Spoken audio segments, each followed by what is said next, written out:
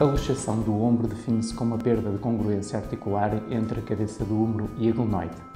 O ombro é a articulação do corpo que mais frequentemente sofre luxação traumática, atingindo quase 2% da população em alguma fase da sua vida.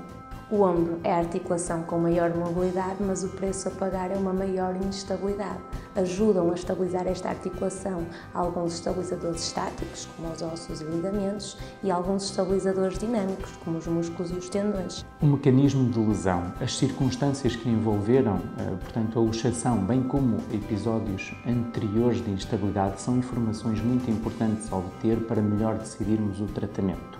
O exame físico do doente, assenta na análise de fatores de risco, nomeadamente a eh, hiperlaxidez articular, bem como aspectos como a apreensão eh, que o doente sente em certas posições do ombro.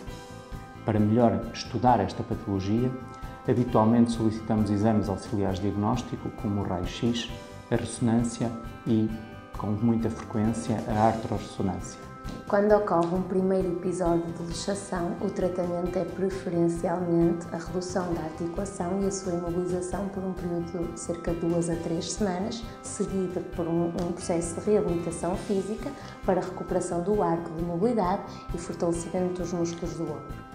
Em alguns atletas, num primeiro episódio, ou quando esta luxação é recidivante, o tratamento é cirúrgico e frequentemente por artroscopia. A artroscopia permite, através de pequenas incisões na pele, uma visualização direta das estruturas, avaliar de modo preciso as lesões e reparar anatomicamente essas lesões.